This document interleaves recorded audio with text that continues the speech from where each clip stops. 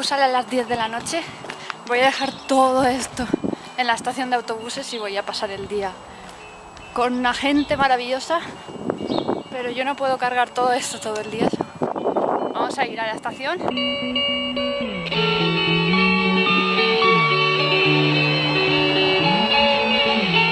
Quien diga que viajar de mochilero es agradable, no lo es para nada, por lo menos para mí.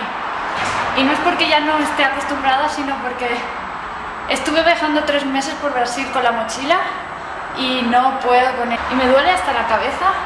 Definitivamente si tengo que volver a viajar, este no será un medio. Pero mirad qué vistas más bonitas de la ciudad. Vamos a ver si, si la estación de autobuses tiene para almacenar el equipaje, así no tengo que cargar con el equipaje todo el día.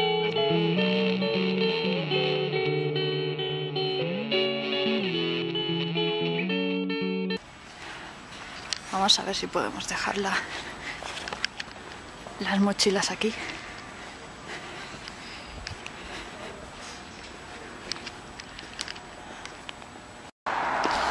Uf, ahora mucho mejor. Bueno, menos, menos mal que sí había lockers y así he podido dejar todo mi equipaje allí. Y ahora a disfrutar de Calgary.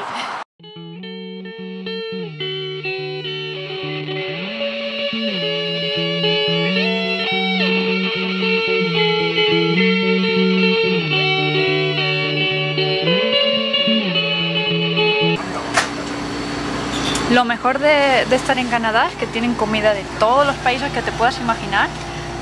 Aquí Venezuela, aquí el venezolano buscando sus pequeños. Más feliz.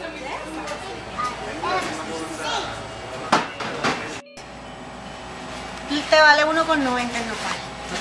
Entonces, ¿Qué es eso, Boru? Bueno, esto es algo mexicano que voy a tratar de hacer, a ver cómo sale. Bueno, esto se llama budare o aripo. Para hacer lo que llamamos arepas en Venezuela. Esto lo puedes, este es pequeño, pero lo puedes comprar más grande. Y bueno, primero lo tienes que quemar así. La gente usa grasa de, de res o algo para quemarlo. Porque así se te pega la arepa. Si no está bien quemado, se, quema, se pega la arepa. Pero cuando ya está bien curado, ya no se pega. Y esto se llama cardero. Igual, esto cuando tú lo compras viene color acero, así pla- pla- eh, silver. Esto se va quemando con el tiempo y eso es lo que hace bien curado para que hay gente que lo tiene así súper negrito, así que Ah. parece un carbón. ¿Vas a hacer unos pequeños? Sí, para que Rebeca pruebe. Vamos a probar la comida venezolana. No son palitos de mozzarella, ¿eh? que quede claro, que se ofenden enseguida. Bueno, bueno, bueno. Bueno, este es el típico bosque donde matan a, lo- a las personas, ¿no? Sí, y luego, la- y luego las echan ahí al río. Porque tiene corriente y pues te puedes ir fácilmente. Me han traído aquí para pasear, para acordarme de Calgary, que me lleve esta sensación. La escena Bonita. siguiente es una caraja o un carajo trotando que se encuentra una bolsa con un cadáver ahí mismito allá abajo. Con una... Oye, yo no sabía que aquí había cocodrilos.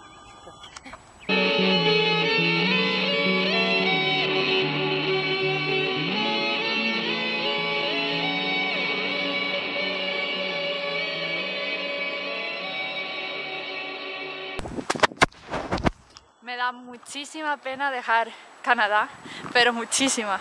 Toda esta naturaleza, nada más salir a la calle es increíble.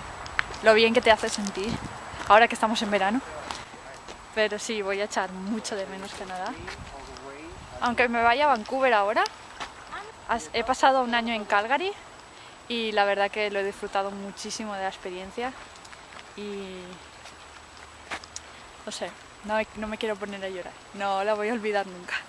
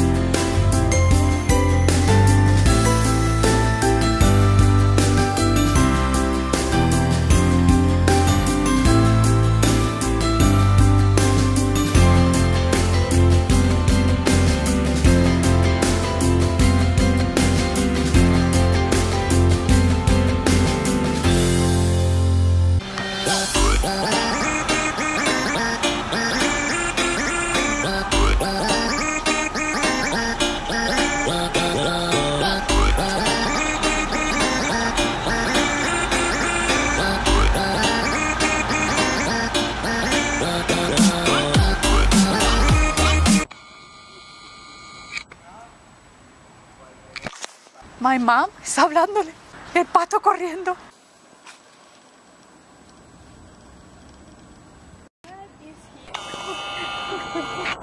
Ahora le está siguiendo otra vez.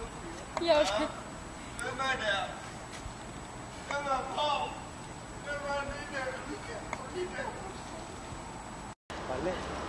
Hay gente muy loca. Hay gente muy loca en esta ciudad.